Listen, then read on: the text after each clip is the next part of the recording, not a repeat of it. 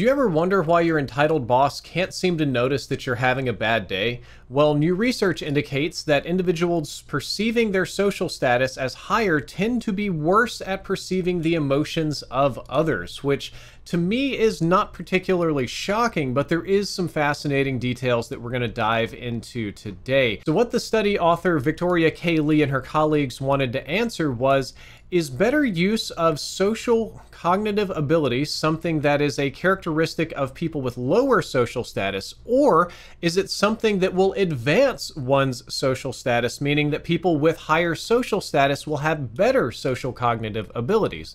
So they did this experiment on about 1,200 US adults. The average age was 38, about half of them were male, half female, mostly white.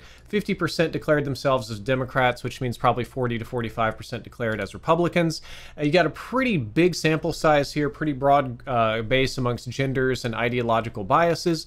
And they asked them to do two emotion perception tests one examining their ability to perceive the emotion of individuals, and the other examining their ability to perceive the emotions of groups, and then a control test. After which they were asked a series of subjective questions about their social status, and this was measured using the MacArthur Social Status Scale, which is something that psychologists would typically use.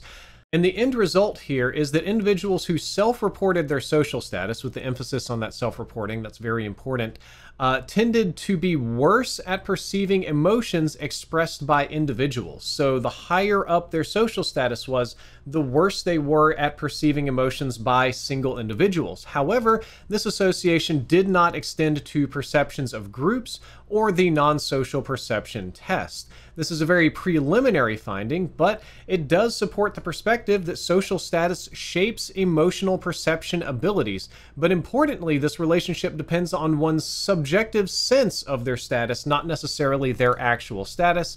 And to add Drifter's little tidbit onto this that isn't part of the article, that makes total sense. The higher up you are in social status, the less important it is for you to notice the emotions of others because your actions have significantly less consequences. If you're a medieval peasant, simply looking at the king the wrong way could get you hung, whereas the king isn't even required to notice that anybody else is having problems. That's just not his job and it doesn't really affect his life. That's an extreme example, but I think it holds up in this study.